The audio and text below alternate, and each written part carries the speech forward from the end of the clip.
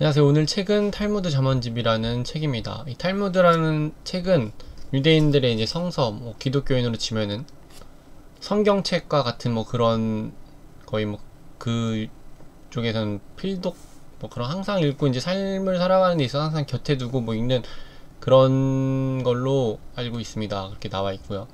옛날에 이제 제가 TV 보다가 하버드였나? 어디 되게 유명한 외국 대학교인데 거기서는 요 탈무드 그 책을 갖고서는 서로 이제 읽고 토론을 하는 되게 중요한 수업인가 뭐 그런 게 있다고 봤어요. 그리고 알고 있었고 그걸 보고 나중에 뭐 기회가 되면 나도 한번 뭐 읽어봐야겠다 해서 하도 뭐 유대인 유대인 그 좀 유명하니까 제가 알기로는 이제 뭐 전 세계에서 이제 마, 많은 부를 갖고 있는 되게 퍼센트 높은 이제 뭐 그런 거의 한 90%가 다 이제 유대인의 자금이다 뭐 이런 얘기를 뭐 저는 그렇게 알고 있었는데 그게 맞는지는 모르겠어요. 오다가 다 들은 얘기여서 뭐 그렇기 때문에 뭐 이제 한번 읽어야지 하다가 어쩌다가 이제 눈에 띄길래 같이 사봤습니다.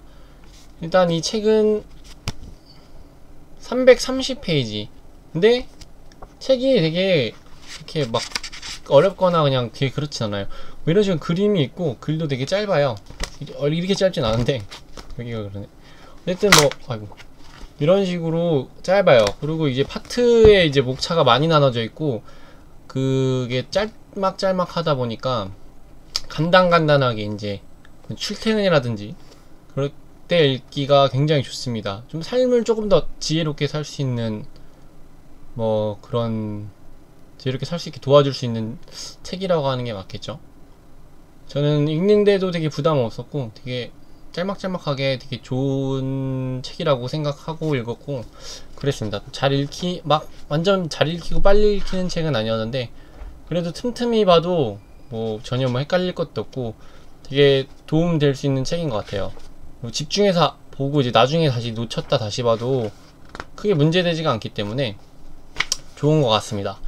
일단 이거는 파트가 7가지로 나눠져 있어요. 어떻게 살 것인가? 나와 관계된 것들에 대하여, 사랑과 결혼에 대하여, 가족과 가정에 대하여, 지혜와 지식에 대하여, 부와 금전에 대하여, 침묵에 대하여 이렇게 있기 때문에 원하시는 파트에서 목차를 찾아서 읽는 것도 좋을 것 같습니다. 목차도 굉장히 많아요.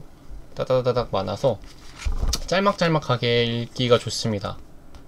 어, 너무 비현실적이지도 않고 되게 조금 저는 괜찮았어요. 특히 부와 금전에 대하여에서 봤을 때 어, 다른 여타 이제 뭐 좀 현실성 없는 책이라고들 말씀하시는 뭐 그런 책보다는 좀 더 현실적이게 쓰여져 있다는 게 되게 조금 놀라웠어요. 지금 쓰여진 책이 아니고 엄청 엄청 옛날부터 쭈루룩 써왔던 책에서 그런 내용을 표기하고 있는 게 되게 좋았고요. 전체적으로 나쁘지 않아서 선물하기도 좋고 읽기 좋습니다. 지혜에서 삶을 좀 더 지혜롭게 살 수 있게 도와주는 책이고 금방금방 읽으니까 한 번씩 읽어보시는 것도 좋을 것 같습니다.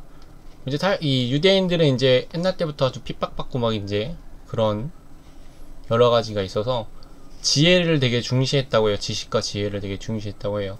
그건 절대 뺏어갈 수가 없고 이제 나만이 갖고 있을 수 있는 뭐 그런 거기 때문에 뭐 예로부터 항상 그 유대인 종, 그 인종은 되게 인종이라 해야 되나? 어쨌든 유대인 분들은 그 지혜랑 지식을 굉장히 중요하게 생각해서 항상 배움에 열망하고 독서에 목을 메고 뭐 그런 것 같아요. 그건 뭐 이제 종특이라고 이렇게 말을 하는데 종족 특성이라 뭐 이렇게 또 말을 하죠 많이. 어쨌든 뭐 그런 이제 배움에 관련된 이제 그런 거고 딱히 뭐 그런 책입니다.